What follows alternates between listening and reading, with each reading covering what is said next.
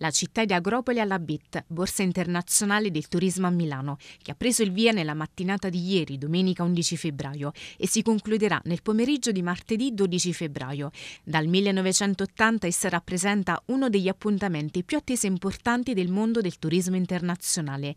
Questi numeri dello scorso anno, 46.000 visitatori provenienti da 120 paesi, 1.300 espositori da 72 paesi, 1.500 buyers, oltre 2.000 giornalisti turisti provenienti da 36 paesi e quest'anno si attendono numeri ancora più importanti. Al classico turismo si affiancano anche spazi dedicati all'enogastronomia e al wedding.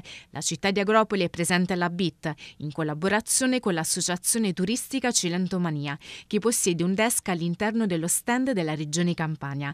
Alle occasioni importanti non manchiamo mai, afferma il sindaco di Agropoli Adamo Coppola e quella della BIT di Milano è una di quelle, un appuntamento importante per far conoscere e promuovere le bellezze e le peculiarità di Agropoli, Porta del Cilento, gli eventi che organizziamo lungo tutto il corso dell'anno, una vetrina che permette l'incontro con tour operator, dialoghi che possono poi trasformarsi in rapporti di collaborazione con gli stessi e con le agenzie viaggi, finalizzate all'incoming verso la nostra città. Qui a Milano c'è fermento, si, si lavora tanto, stiamo comunque cercando di portare risultati a casa in merito a quello che è un discorso di promozione del territorio.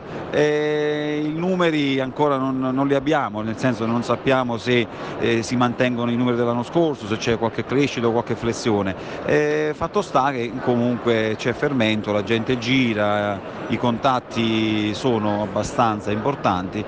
Insomma, poi aspettiamo di, di capire cosa, come si chiuderà questa, questo momento fieristico.